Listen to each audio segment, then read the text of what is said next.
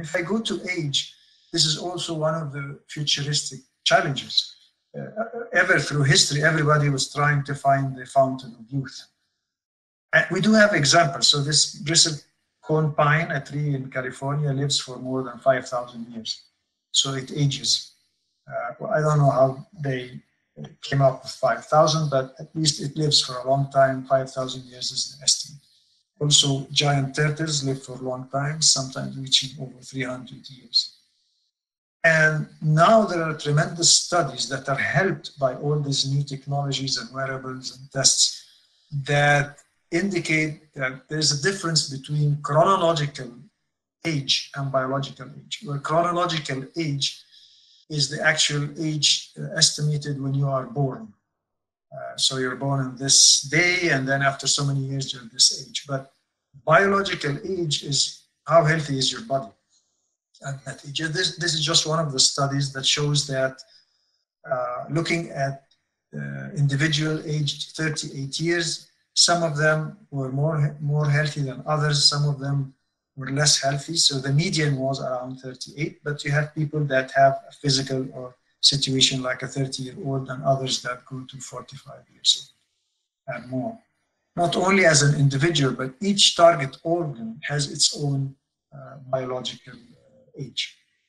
And then you, you went into the, so part of the technology would be looking at these ages and targets and uh, apps that look at your liver age, your uh, status of mental status, and all this. So these are all futuristic uh, uh, compartments for technology and for marriage between healthcare and technology. And uh, in 1956, people thought of scientists looked at what if we inject the plasma of uh, young mice into uh, older mice? Would they be younger?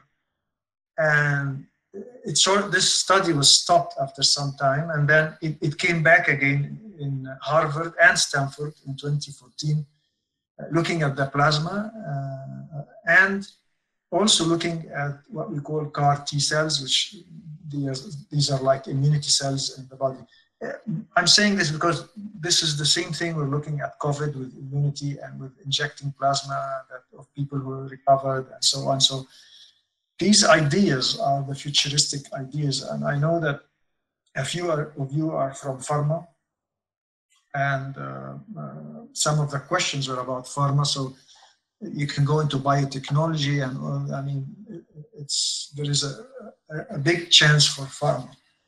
And then you go to human upgrades as well. So you, there are all sorts of devices now from technology that help humans. This is a quadriplegic, so he's paralyzed from his waist uh, downwards. And uh, of course, he can move around by an electric chair, but uh, it's healthier to move or actually mimic walking because this is better for the heart and the lungs because people who sit in chairs all their lives will die early from heart failure and lung failure. So this is not only a better way of moving, uh, it helps your other organs uh, be uh, healthier. This is, again, uh, a mechanical heart, a small mechanical heart. We have like uh, 45 people in Aswan with this type of heart. Once the heart really is in a very bad situation, then we can put this machine and it's